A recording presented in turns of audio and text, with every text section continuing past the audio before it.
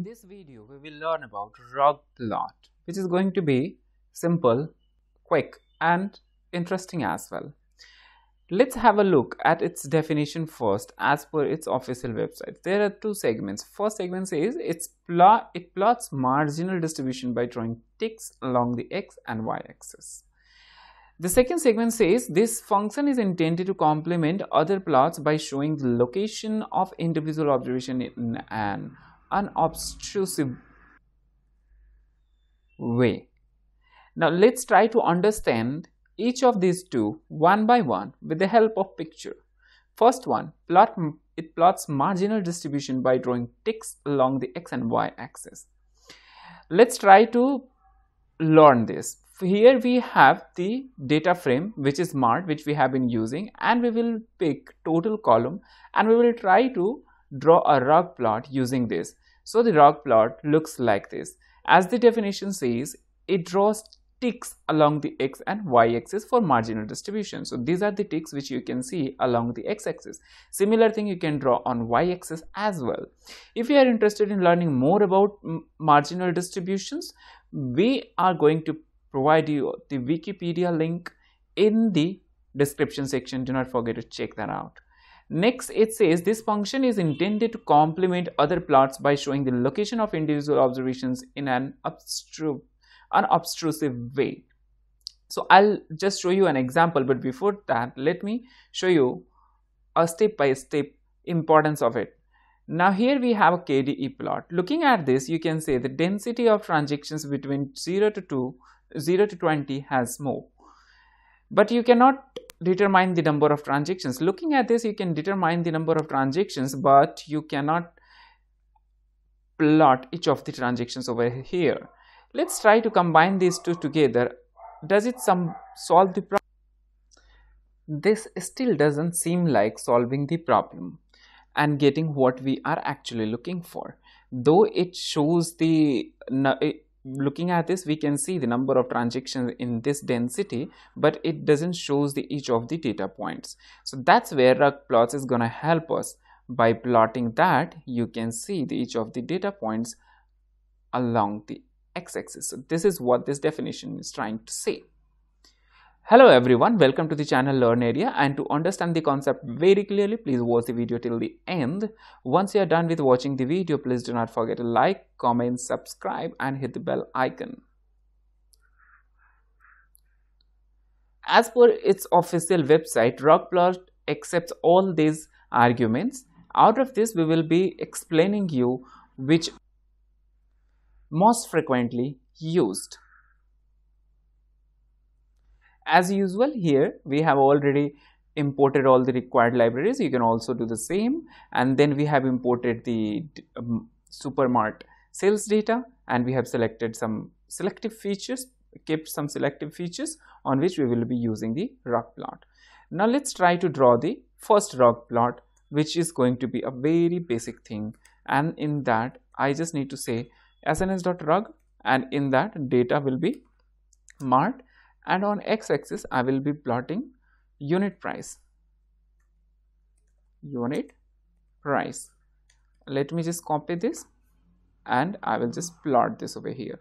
Here you can see the rugs have been plotted. Though these look very small over here so that you can fix just by using the figure function from matplotlib. Let's try to use that. Here we have that figure function and in that you just need to use figsize.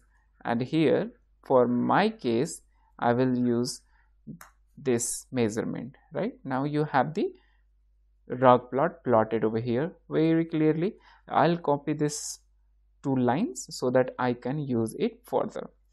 Now here this was just on x-axis. What if you want to relate it with another variable. For example gross income. I want to use this for on x-axis unit price and on y-axis i want to see each of the points for gross income.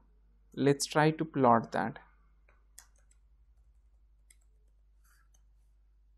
Here we have these two plotted. Like you can see these two have been plotted over here. Here the gross income and here comes the unit price. Next problem statement comes in what if we want to categorize this using a categorical variable? Or you can also say we want to group them as we have been doing in all the previous videos all the previous previous plots rather i can say.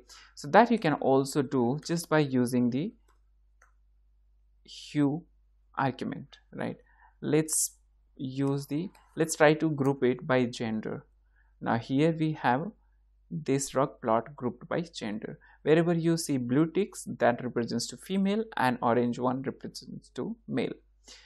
Now again i will do a copy of this thing.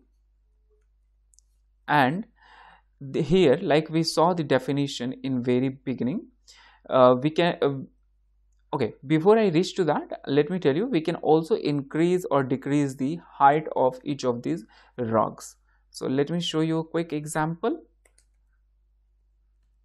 height let's say 0 0.05 i want to say.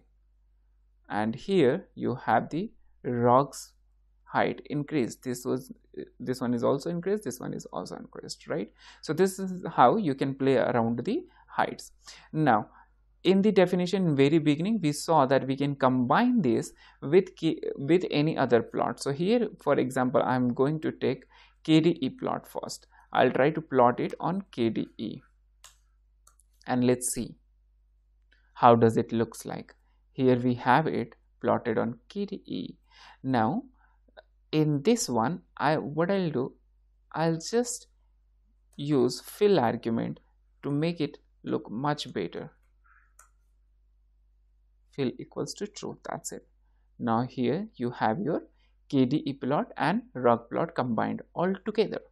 Similar thing we can do with scatter plot as well let's try to plot it with scatter plot.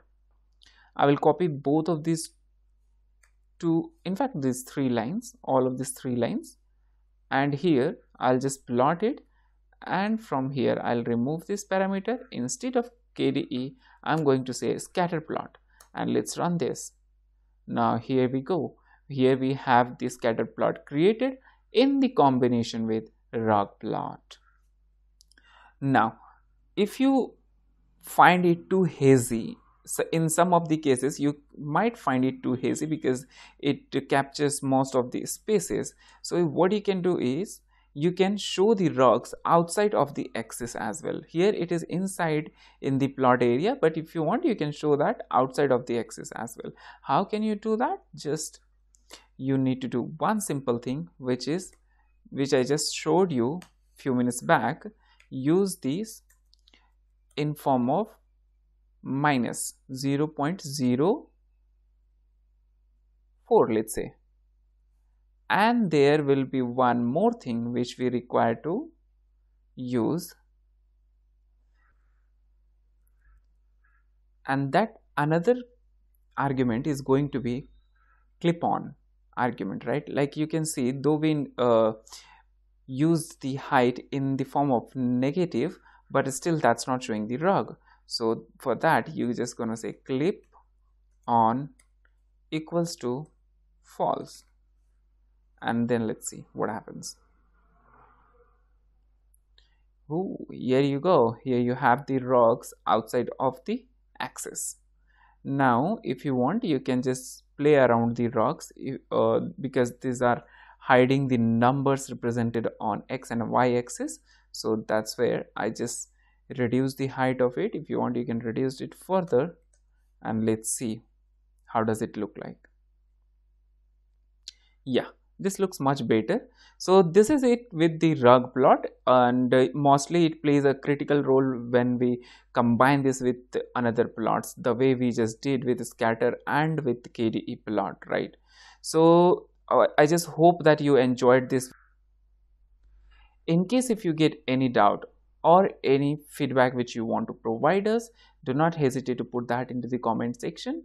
We try to read as many comments as possible and reply all all of them. Until then happy learning enjoy it practice it more and all the best